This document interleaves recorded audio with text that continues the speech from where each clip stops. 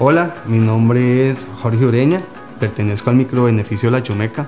Estamos ubicados en San Pablo de León Cortés. Nuestro banco de confianza es el Banco Nacional. De todos los servicios que diariamente el banco nos presta, los que más nos ayudan en nuestra actividad cafetalera viene a ser lo que es la tarjeta de crédito PYME y la línea de crédito de agroexportación.